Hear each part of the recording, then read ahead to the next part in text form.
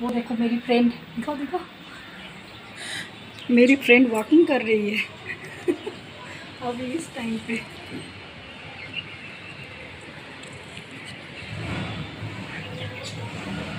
मेरा तो वॉकिंग भी बंद हो गया। अच्छा ये कड़िला का पेड़ लगाया लग रहा है तुमने। हाँ ये वो जो करेला पक जाता है ना लाल लाल हो जाता है उसका सीड्स तो ये गमला खाली हो गया था तो मैंने यहाँ पे डाल दिया। बहुत अच्छा देखिए। अच्छा। करेला तो लग रहा है इसका बड़ा भी खाने को मिलेगा। हाँ मिलेगा ना बट इतना छोटू सा में क्या हम तुमको बड़ा खिलाएँगे? चार चार ही तो पत्ते हैं इसमें से। कड़ी पत्ते का पौधा जो था उसको मैंने काट दिया था। आ, फिर से बढ़ना शुरू हो गया। फिर से ग्रो कर रहे हैं क्योंकि बारिश के टाइम में हम कटिंग करते हैं। दूसरे टाइम पे कटिंग करना अच्छा नहीं होता है और वो लगता भी नहीं है। मैंने देखता है। और ये है मेरा मनी प्लांट कितना अच्छा घना हो गया। इससे मैंने दो पौधा और बनाया है। ये मदर प्लांट है और इससे मैं कटिंग करके फिर मैं बनाती हूँ। और फिर आप लोगों को और एक चीज़ दिखाते हैं। ये जो है, ये ट्राई कलर जो सो प्लांट है, ये इसका भी मदर प्लांट मैं रूम में रखी हूँ, लिविंग रूम में।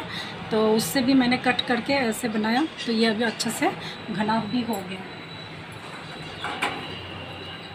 और ये जो है पौधा ये जो है, ये सनसेवेरिया है तो इसका भी छोटा छोटा आप देख सकते हैं। ये जो है मदर प्लांट है और मदर प्लांट का ये जो नीचे का छोटा छोटा आप देख रहे हैं ना, ये छोटा छोटा यहाँ पे फिर से प्लांट ग्रो कर रहा है। तो जब ये पूरा घना हो जाते हैं तो इसको अच्छे से रूट को अलग करके फिर मैं यहाँ पे दो यहाँ पे मैंने लगा दिया तो इससे भी और भी ज़्यादा पौधा मेरे को मिल जाएगा।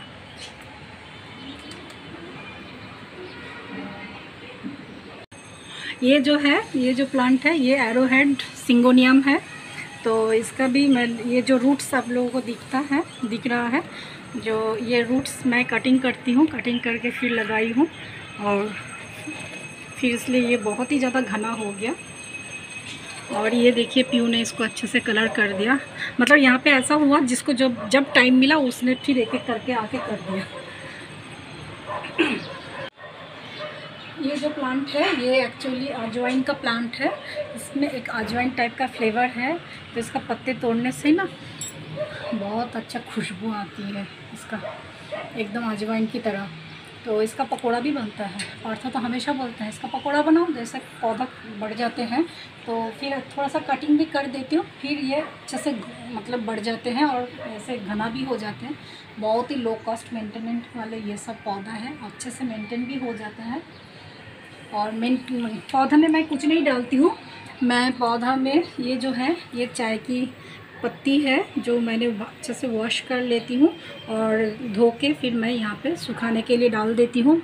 यही मैं डालती हूँ और भार्मी तो इसका मतलब है इसका बड़ा खाना मतलब चाय के साथ पकोड़ा खाना हो गया। नहीं चाय के साथ पकोड़ा नहीं है। अभी हम इसको नहीं काटेंगे। तुम पकोड़ा अभी सोचते रहो। हाँ ये जो पौधा है ये भी मैंने कटिंग करके लगाया मदर प्लांट से एक छोटा सा गमले में। तो कितना अच्छा हो गया ये।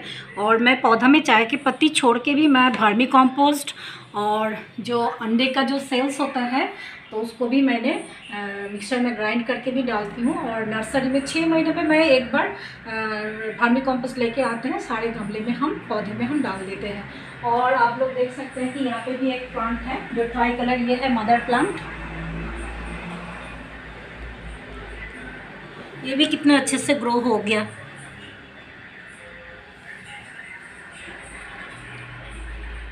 मैं जो आज खाना बनाऊँगी, वो भेज खाना ही बनाऊँगी। तो मैंने यहाँ पे ले लिए। ये इसको बोलते हैं एक्चुअली इस रेसिपी का नाम है कुमड़ो छक्का। तो मतलब भेज सब्ज़ी, ये जो है, ये पम्पकिन है, जो मैंने इसको डाइस पे मोटे मोटे डाइस पे काट लिया।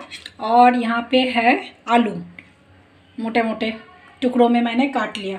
बाकी यहाँ पे ले लिए हम अदरक और ये थोड़ा सा कुटी हुई नारियल।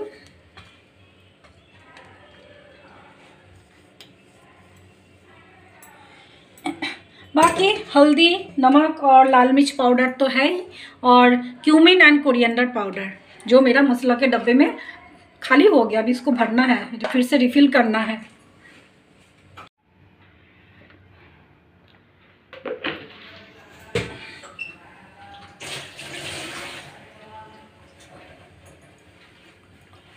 और मैंने यहाँ पे और दो तीन आइटम ले लिए, जो है कि भिगा हुआ चना और तेज पत्ता सूखी लाल मिर्च और पाँच फोड़न जो हम पहले फोड़न में यूज़ करते हैं।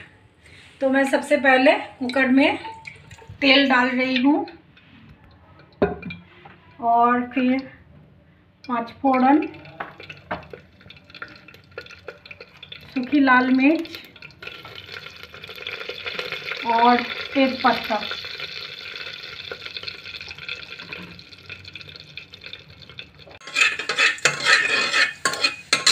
पहले मैं आलू को डाल रही हूँ।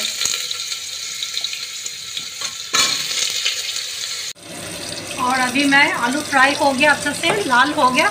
अभी मैं पम्पकिन को डाल रही हूँ।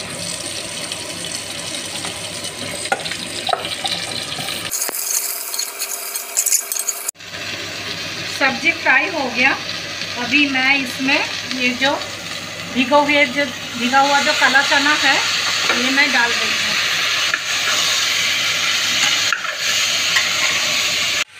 और यहाँ पे मैंने कुटा हुआ अदरक इसमें मैं हल्दी क्यूमिन पाउडर कोरिएंडर पाउडर जो मैं मिक्स करके रखती हूँ, और लाल मिर्च पाउडर और इसमें हल्का सा पानी ऐड करूँगी।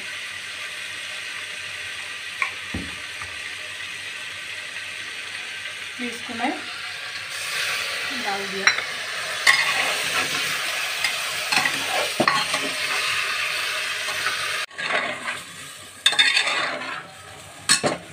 अभी मैं थोड़ा सा तीखा बनाऊँगी, इसलिए मैं इसको थोड़ा सा ये जो हरी मिर्च है, तोड़ के मैंने डाल दे रही हूँ।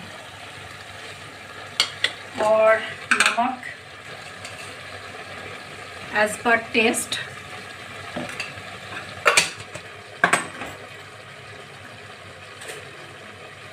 हल्का सा शुगर इसमें टेस्ट बैलेंस हो जाता है।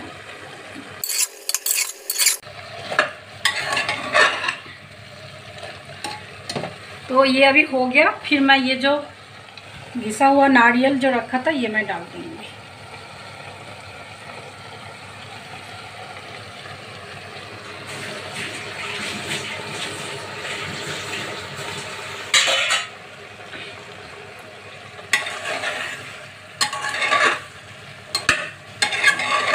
ये सब्ज़ी जो है एक्चुअली रोटी रोटी, पराठा और पूरी के साथ ही अच्छा लगता है।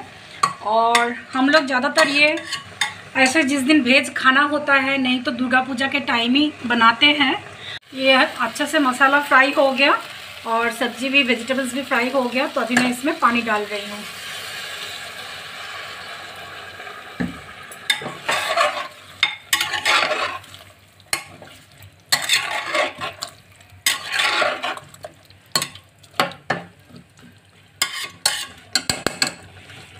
दो सीटी लगाएँगे, उसके बाद ये तैयार हो जाएगा।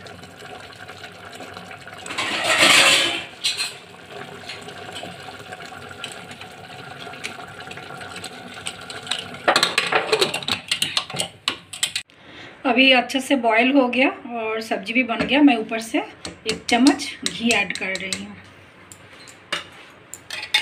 इसको अच्छे से बना लेंगे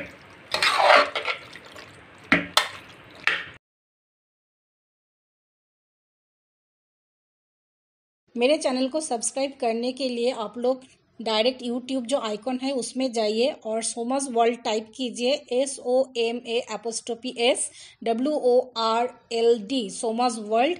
Then subscribe button जो है उसको प्रेस कीजिए और बेल आइकॉन जो है वो अगर प्रेस करेंगे तो मेरे आगे का वीडियो का नोटिफिकेशन आपको मिल जाएगा।